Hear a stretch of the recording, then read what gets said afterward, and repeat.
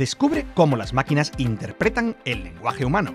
Explora los retos y aplicaciones que presenta el procesamiento del lenguaje natural.